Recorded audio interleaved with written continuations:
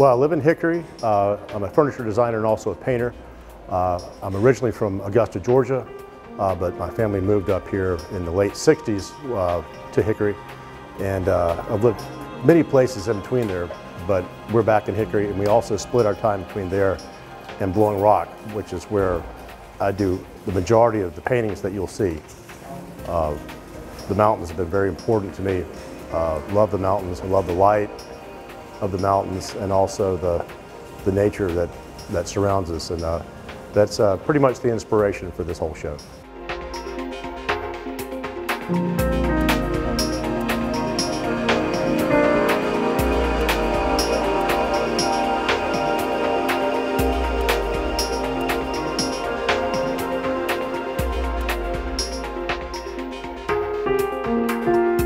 This show is primarily of the forest interiors uh, that surround uh, the small lakes near Blowing Rock.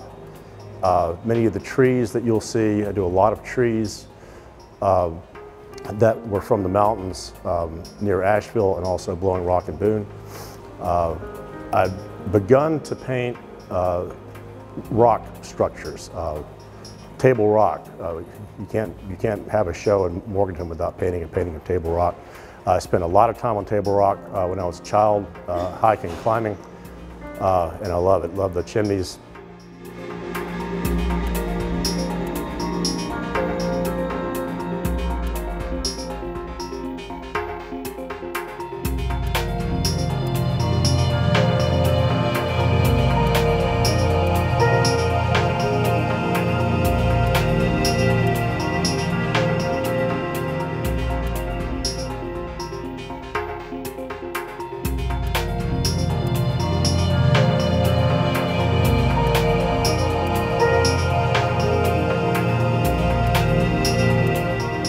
The paintings that you'll see are either oil on canvas or acrylic on canvas. Uh, the ones on oil are also stretch over board because uh, when I paint, oftentimes I will, I will build the surface up and I will sand it back down, uh, building up many layers of paint and also glazing uh, somewhere in between. Uh, this painting right here is a good example of, of the glazing technique. Uh, it gives it an overall kind of light, uh, it gives it a depth that uh, just painting on, the, paint on the surface can't give.